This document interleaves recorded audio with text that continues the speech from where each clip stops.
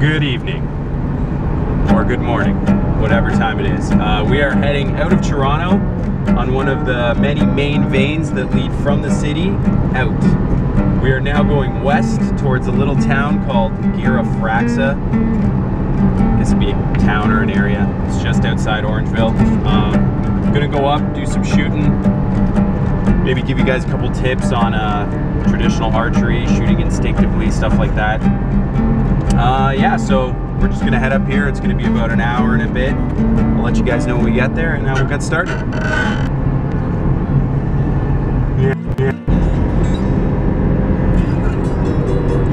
Got some rain clouds moving in, but I highly doubt that's gonna stop us. Unless, of course, it's torrential downpour.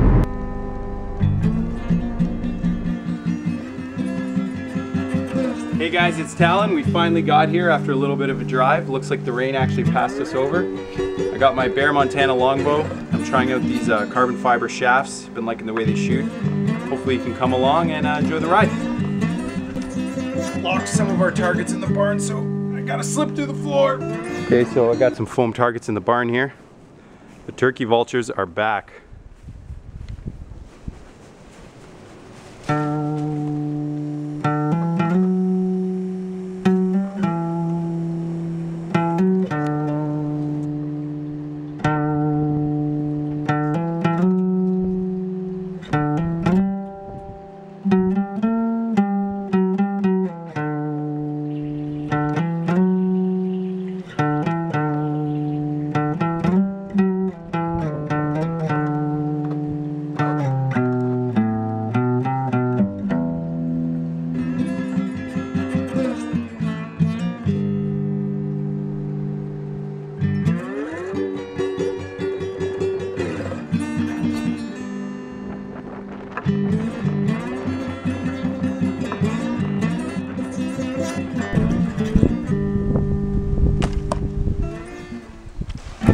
Many, many ways to shoot instinctive. There's really no right or wrong way as long as you're not pulling your back muscles or your shoulders. So the most important thing is warming up. Always warm up because you're not doing this too much with your shoulder besides when you're getting out into the woods and shooting. Another thing is anchor points. I think that people spend a lot of time trying to worry about correcting their anchor point, trying to see where the flaws are with it. There really is no right or wrong way. I know some people will agree, some people will disagree. I don't really focus on form at all because when I'm shooting, it's all in the moment, instinctive completely. All I do is stare at the target. I don't worry about anything else. And that's all you have to do. You draw your bow back, you look at the target.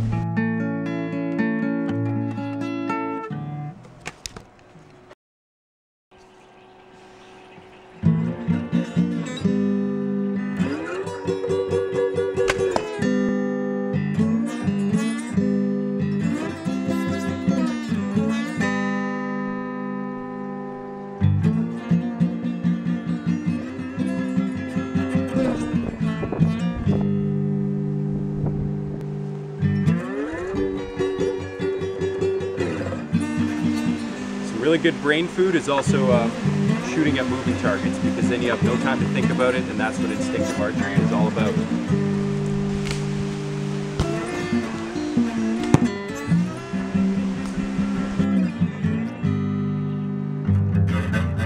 Volleyball between two trees.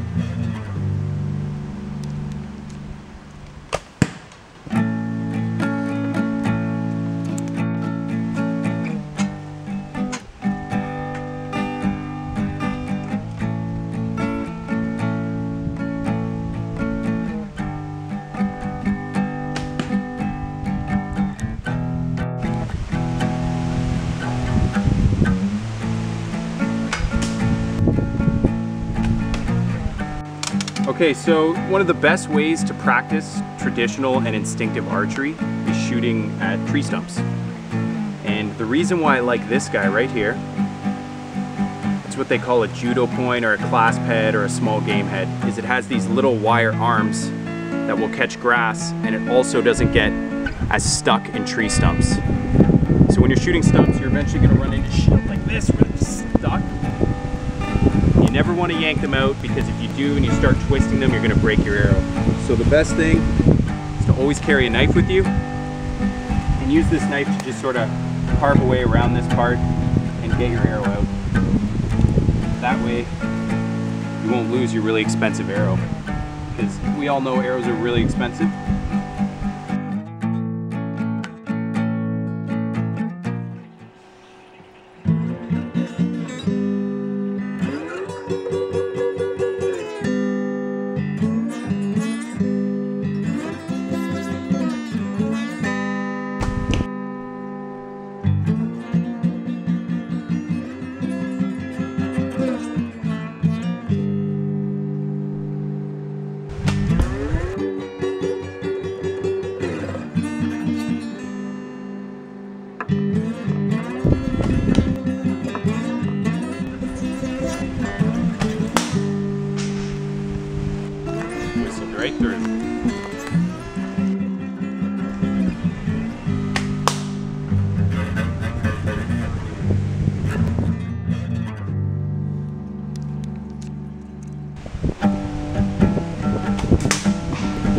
Hey guys, thanks for tuning into the Weekend Warriors channel. I hope you had a good time. I had a great time.